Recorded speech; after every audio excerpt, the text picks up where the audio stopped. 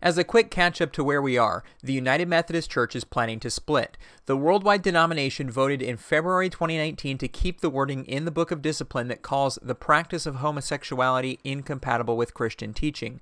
The vote was 53 to 47 percent, and it's only because of the non U.S. congregations, mostly in Africa, that the vote went that way.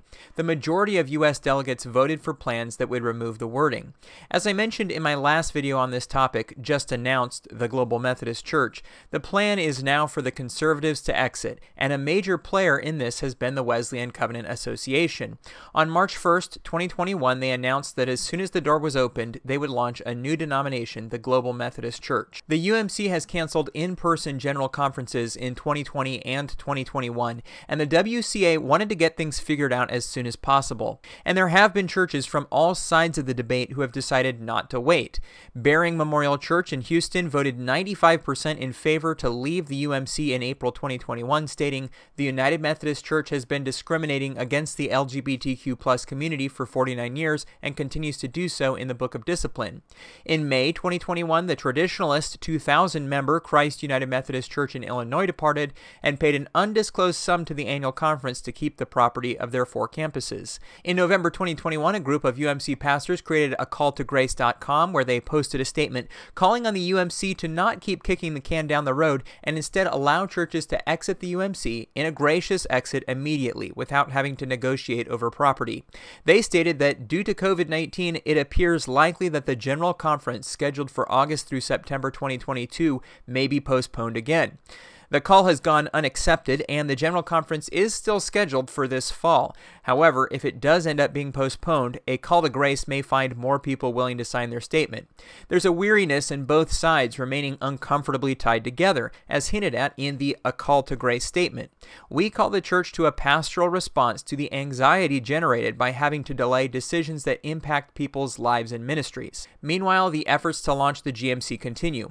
On January 11, 2022, the Global Methodist Church Twitter account posted this tweet The Transitional Leadership Council anticipates that the GMC will be formally launched in September 2022.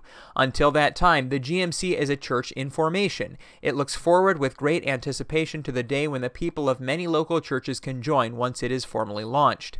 The plan is then, after forming, for the Global Methodist Church to continue under its transitional book of doctrine and discipline for about one year and have their own convening general conference in 2023.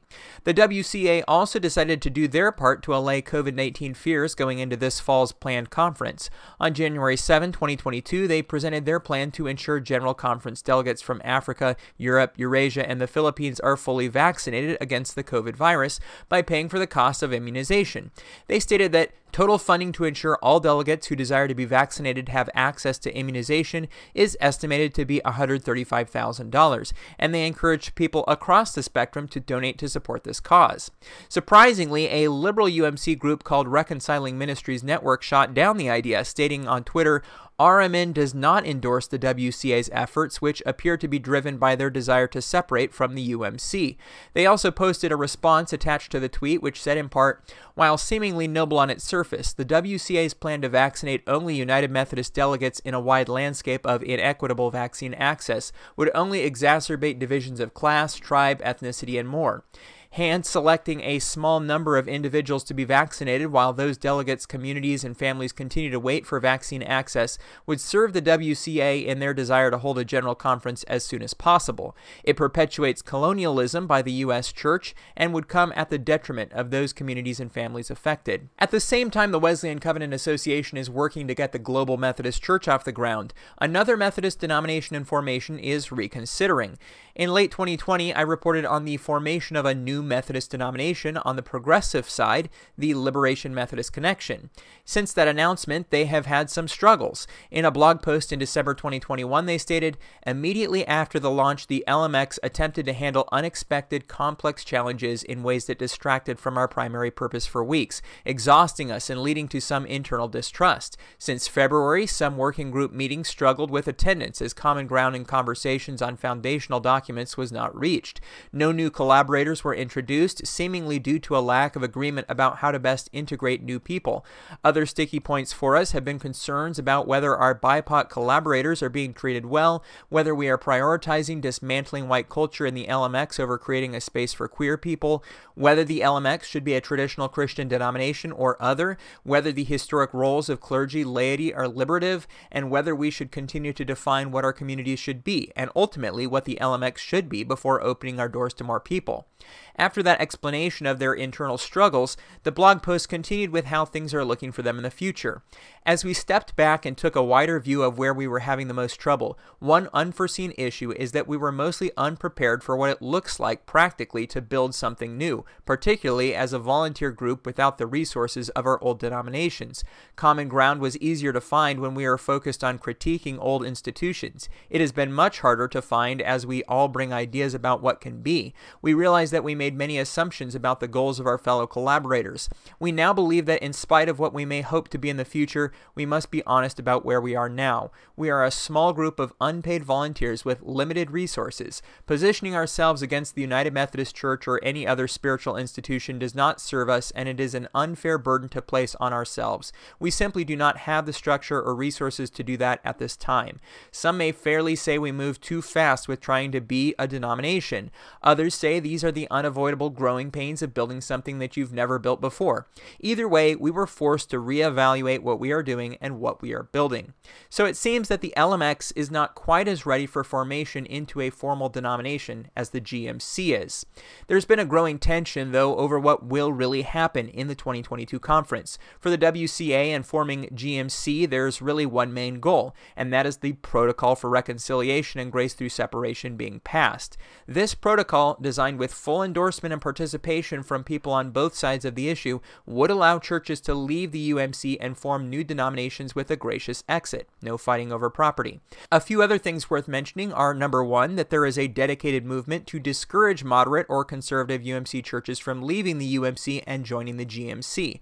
The North Alabama Conference of the UMC is more conservative than most, and there are people working to get the conference to join the GMC when it forms, which would require a 57% vote in favor.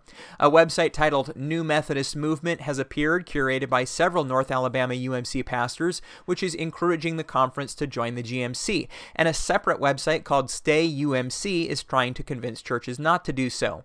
Number two, if the protocol does pass and denominations are able to form, the process of regional conferences voting to leave may or may not happen quickly. It could be that some call special conferences to vote to exit, but others may wait until their scheduled annual conferences for such a vote, pushing things into 2023.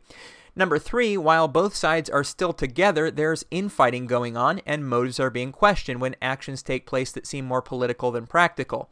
As an example, a traditionalist UMC church that is affiliated with the Wesleyan Covenant Association, the 9,000 member Mount Bethel UMC in East Cobb, Georgia, unexpectedly had their lead pastor, Jody Ray, reassigned away from the congregation by UMC Bishop Sue Haupert-Johnson. Ray and the church rebuffed the assignment, and the North Georgia Conference of the UMC said they would seize the church's assets stating that the employment, instruction, activities, and worship of the church and the school will continue, but under the direction and control of the conference board of trustees. Ray surrendered his UMC credentials, and the church announced they would attempt to exit the UMC, but they've since been hit with a lawsuit by the North Georgia Conference. Mount Bethel has responded with a countersuit. From the traditionalist side, whether accurately or not, this dispute is being used as an example of the more progressive side playing hardball and trying to break up the momentum of the WCA and strike fear into other churches that support the GMC. So a lot is in fact happening, and there's likely to be more surprises along the way. Right now, the UMC is still united, but regardless of what happens in 2022, there will be a significant number of churches leaving in one way or another. The realignment that's happened with Lutherans, Presbyterians, and Baptists is coming to the Methodists too, and now we're about to find out if it will happen smoothly or with even more of the pain that has often come when there's an exit.